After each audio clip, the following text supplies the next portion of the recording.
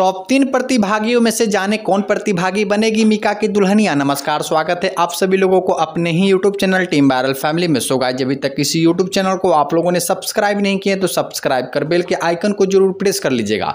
दर्शकों, आप लोग को बता देते हैं कि स्वयंवर मिका दी बोटी के एक एपिसोड के दौरान टॉप फोर प्रतिभागियों में से एक प्रतिभागी को एलिमिनेट कर दिया गया है, वो प्रतिभागी है रिया किशन चंदानी। गाइज़ आप लोग को बता देते हैं कि अब मात्र तीन प्रतिभागी बचे हुए हैं और इन्हीं तीन प्रतिभागियों में से कोई एक प्रतिभागी मिका की दुल्हनिया बनेगी, यानी बोटी बनेगी।